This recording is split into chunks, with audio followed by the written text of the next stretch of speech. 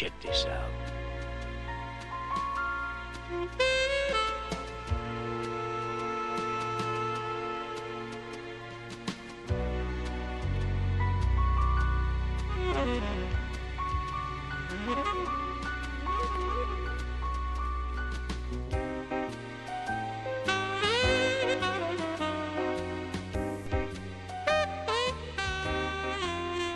To Computer Visions.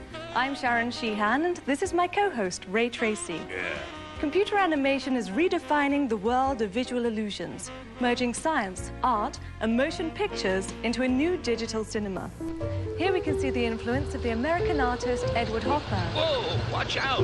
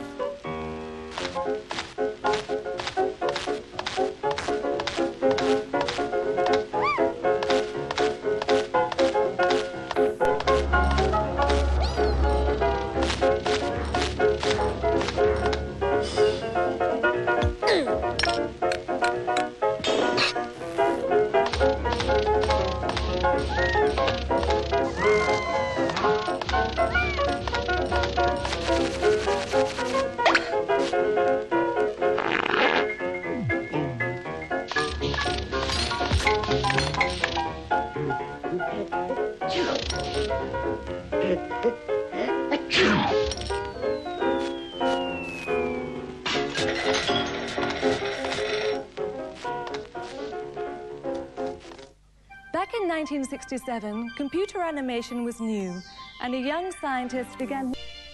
After that, Dr. Blinn created Blobby Man, one of the first realistic computer animations of a human figure. Blobby Man was used to demonstrate the power of a then newly developed rendering technique. Back when we started out doing this, there were maybe like 50 people in the country who knew this. It was like an obscure hobby that we never believed that a whole lot of other people would really care about. Nowadays, you can go down to the supermarket and get fan magazines for computer graphics.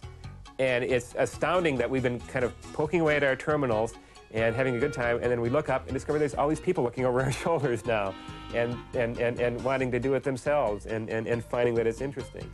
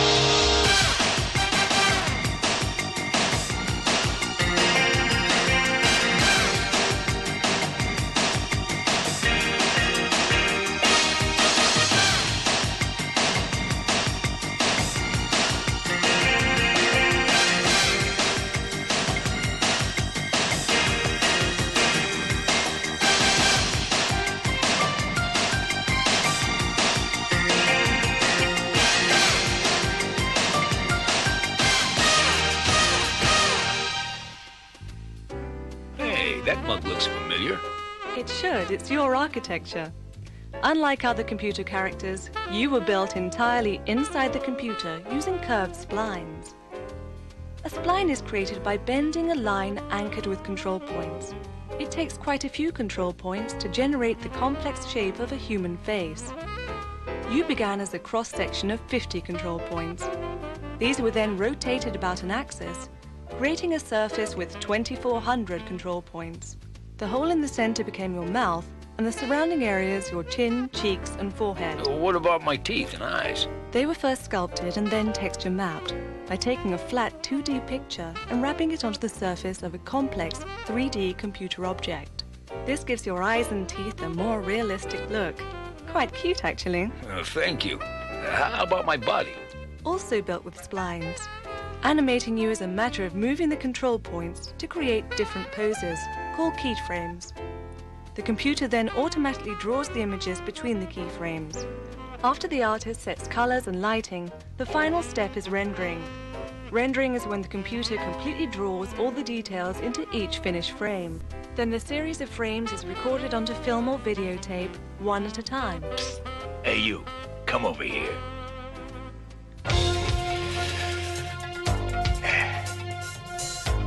Check this out.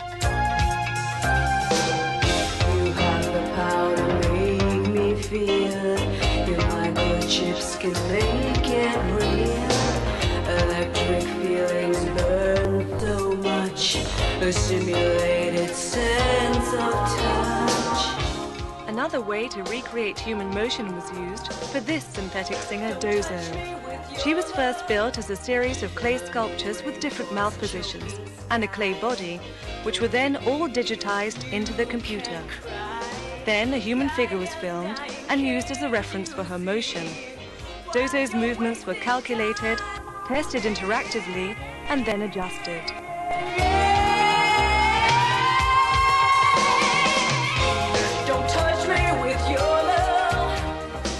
Because the human body and face are so complex, replicating human motion is difficult to achieve. Computer animators are constantly working to improve the techniques they use to synchronize speech, simulate body movement, and reproduce accurate facial expressions.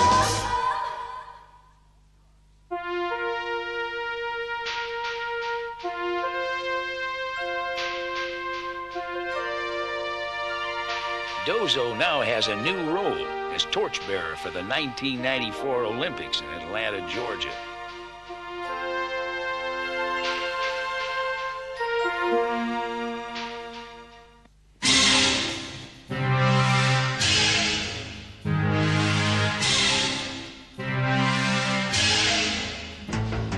Crypto is a three-dimensional computer actor made for French pay television. Crypto's animators have abstracted the human form to create a robotic human-like character by isolating realistic-looking mouth, eye, and hand gestures.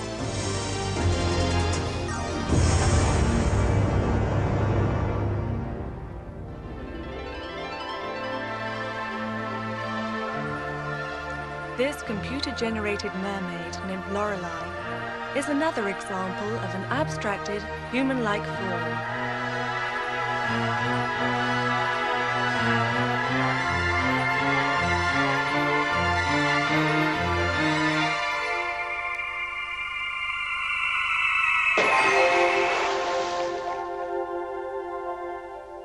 Computer animators have had to overcome a lot of problems posed by things that we take for granted.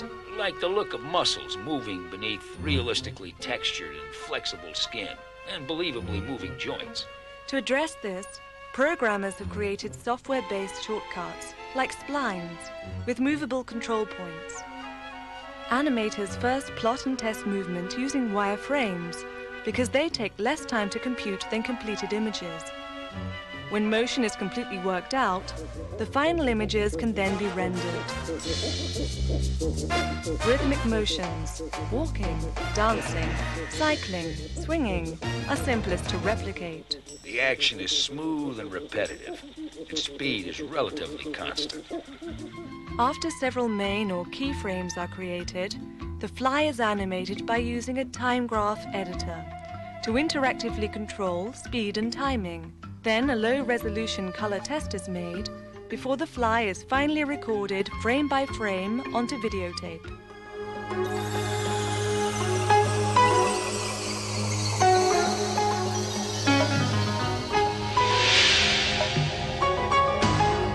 Using a snake movement behavior model, scientists at Apple Computer created Frank, who owes the quality of his movement to dynamic simulations of muscle contractions combined with his body's interaction with the ground.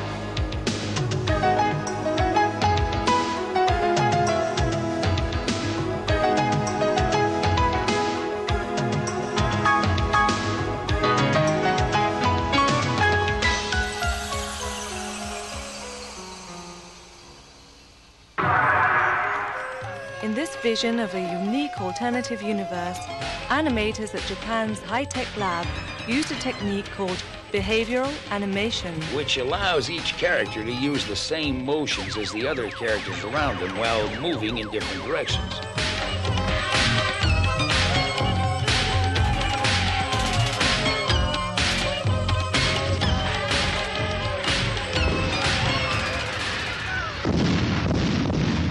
Looks real, it's actually computer generated using a technique called particle systems to create small, well, particles.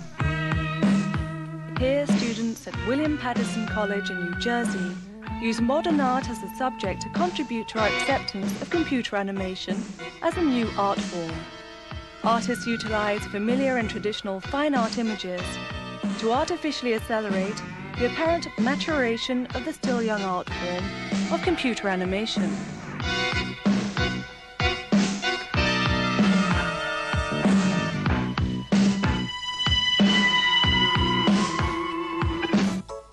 To indulge their sense of humor, many computer animators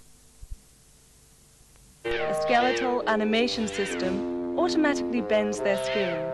Here, a simple experiment in spline modeling and motion is framed within a fairy tale. Fire was created using a system that animates particles. What fire?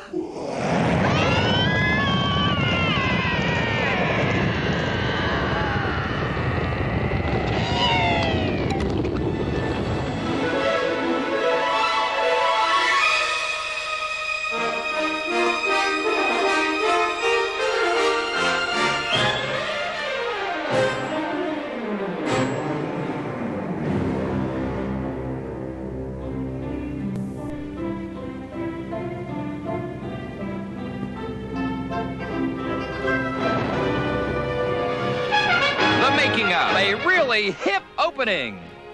As the storyboards were being Researchers at the AT&T Bell Labs created 12,000 identical robotic figures to keep themselves company in a world whose inhabitants have only one purpose, to ride on top of the wall. Unfortunately, the wall goes on forever. Perhaps a metaphor for the continuing challenges presented by computer animation. Hey, that teapot looks familiar. It should because teapots are a computer graphics icon. Everyone uses them to show off new techniques. Here at IBM in New York, researchers are developing physically based modeling, a procedure to make computer generated objects behave as if they were real. Like uh, when things break. Research began with a spongy cylinder dropped onto a solid surface, then to colliding rigid and soft tubes. Early breaking attempts didn't look right, and pieces would come flying through the cylinder walls. They learned that to make things happen, physical properties had to be altered. For example, to make something move, you hit it with an invisible sphere. And if you soften the teapot and hit it with a burst of gravity, you get a big sneeze. Gazoon-tight. Looks like gravity was suspended. Right, until it's time for it to come down. Uh, this kind of work seems to be narrowing the gap between reality and our ability to simulate it. You know, Ray, computer animation has become a fantastic new tool over the terrain of the Red Planet, at elevations ranging from 500 miles down to only 3 miles.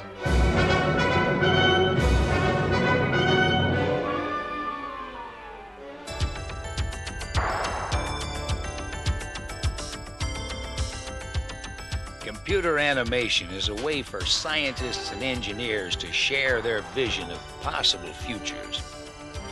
We can demonstrate the operations of a colony on our moon, or explore Mars and its moons.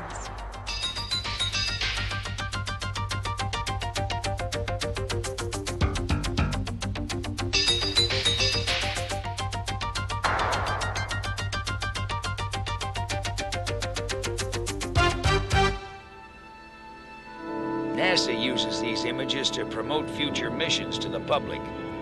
This is an event NASA would like to see in 2002. In that year, a spacecraft from Earth could reach Saturn's moon Titan and drop in for a visit.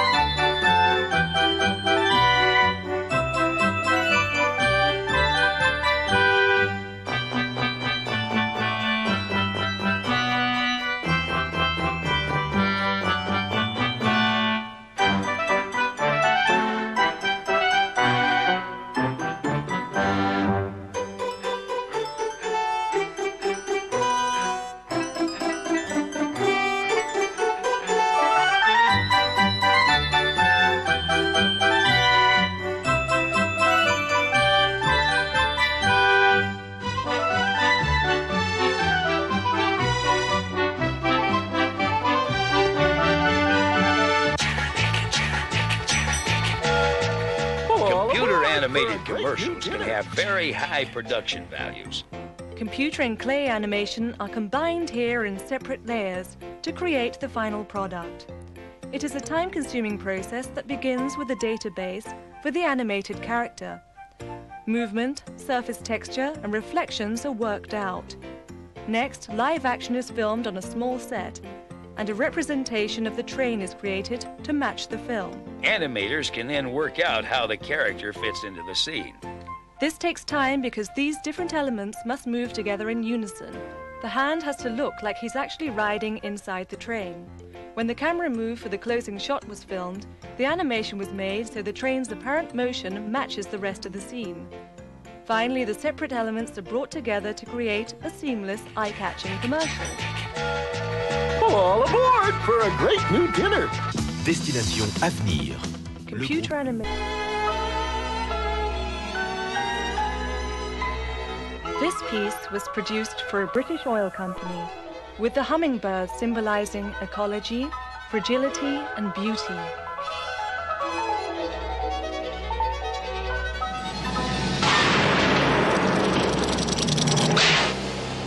To make this logo for a British company, footage of real clouds and images of model buildings were combined with computer animation.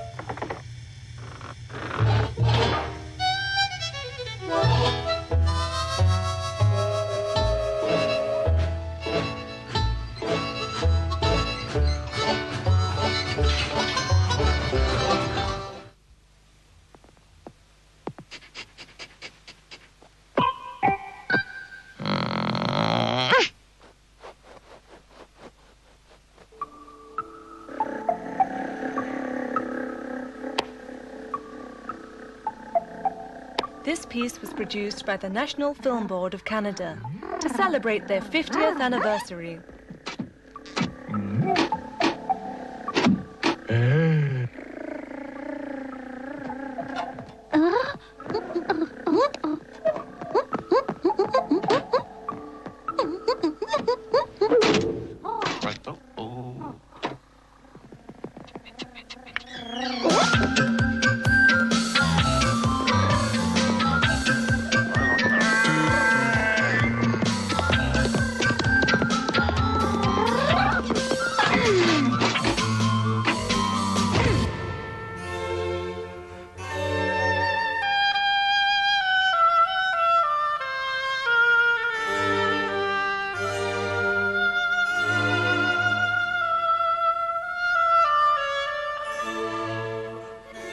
Work is a good example of the influences of surrealist artists like Magritte and Escher on computer animation. As this digital cinema is maturing as an art form, animators are doing what painters and sculptors have done before them. Artists working in a new art form often create homages to older traditional art forms in order to gain respectability. Computer animation is a medium still under development. Here at Symbolics in Los Angeles, animators are recording their artwork onto high definition television because they believe it's the medium of the future.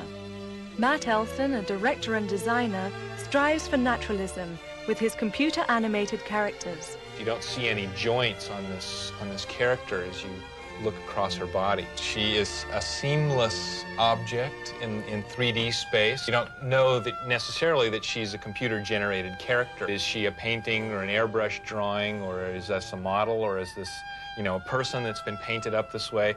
And that kind of blurring of the line, that kind of confusion is part of what we're after. This sense of naturalism is captured in the flight of butterflies. Producer and animator Mark Scaparo created the movement of butterflies using behavior animation software, which allows each butterfly to navigate its own path. By giving the computer simple instructions, complex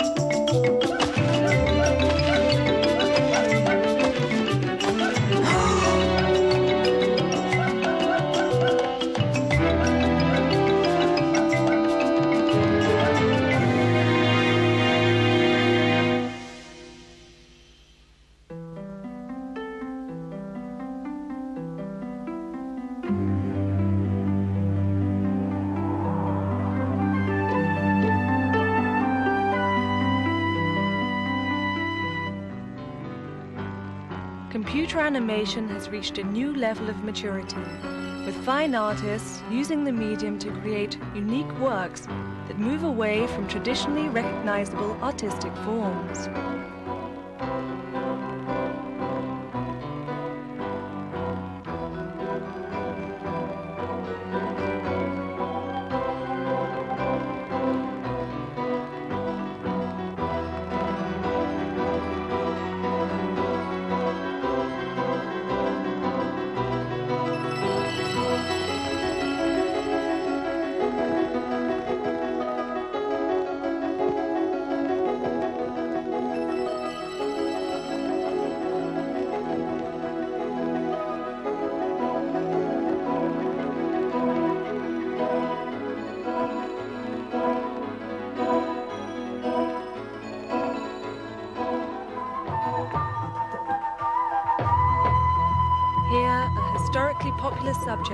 Fine art, the human form, is abstracted through computer animation in ways not possible with marble, clay, bronze, or paint.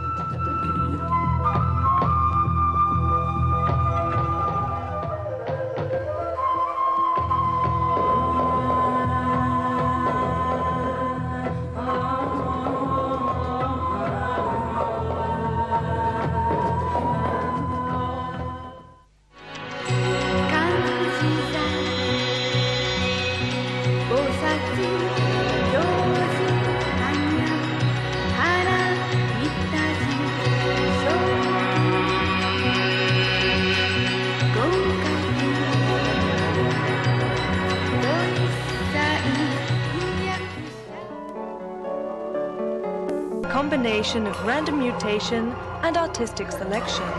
The result is a unique vision which literally grew and evolved inside the computer.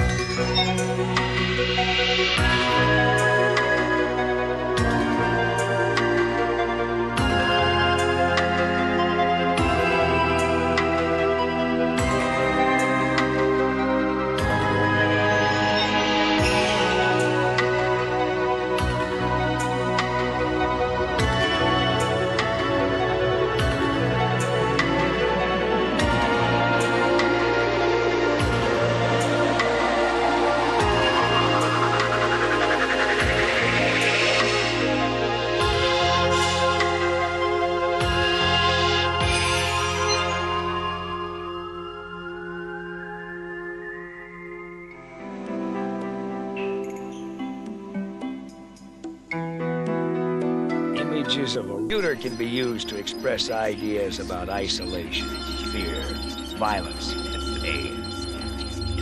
Here, poetry and surrealism are combined in a very powerful vision. This work's creator wants us to focus on the aesthetic qualities of computer artwork and treat it like any other art form.